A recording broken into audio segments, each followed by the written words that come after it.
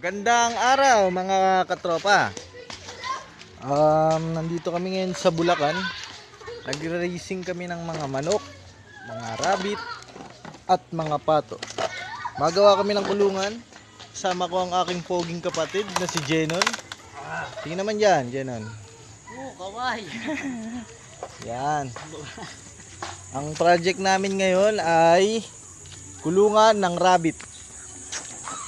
Nakagawa na kami ng kulungan ng 45 days ng mga nakaraang araw. Ito naman ginagawa namin. Yan. Kami ng kulungan ng rabbit. Sa ngayon, meron pa lang kaming alagang rabbit na dalawang piraso. Tsaka dalawang pato hindi pa dumadating yung deliver kasi gawa ng lockdown may mga order na kaming marami um, ito yung ito yung aming manukan ayan ito ito siya ayan medyo pang ilang araw pa lang nila ngayon pang apat yata, pang lima. Pang limang araw. Pero medyo malaki-laki na siya.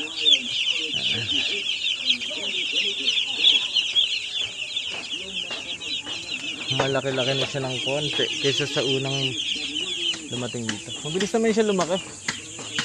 Um, medyo mahaba yung kulungan namin na ginawa. Ayan siya. Ayan. Tapos, ito yung unang alaga namin. Ito yung unang alaga namin na rabbit. Yan. Ang breed niya, lion head at saka ano siya? Um, crossbreed. Crossbreed ng lion head. Lion head at saka ng Switzerland. Ayun siya. Meet my bunny. Yan. Ay, likot. Ito pa yung isa.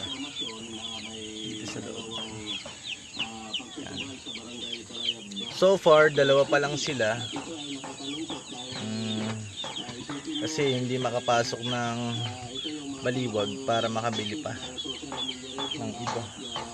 Ayun yung pato namin. Dalawang piraso pa lang din.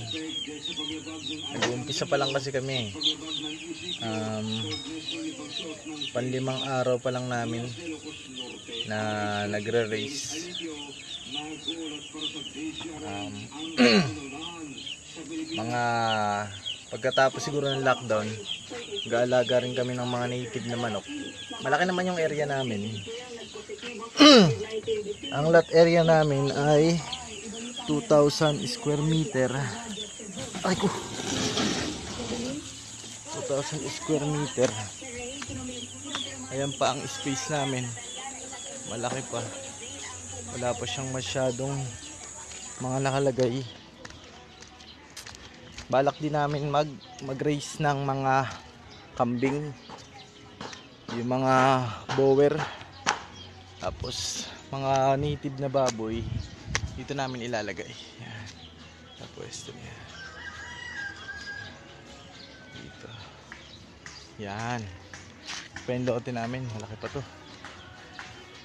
Malaki tong lupa kaya tamang tama to paglagyan ng maraming pato. Tsaka mga native na manok. Gagawan ko ng ano gagawan ko to ng papaikutan ko ng lambat. Tapos um, dito nakakulong yung mga mga pato at saka mga manok. Pati kambing dito na lang din ayun um sana matapos na yung lockdown para makabili na kami ng mga additional additional na ilalagay dito sa aming sa aming munting farm Yun lang muna guys. Ah, maraming salamat. Thank you.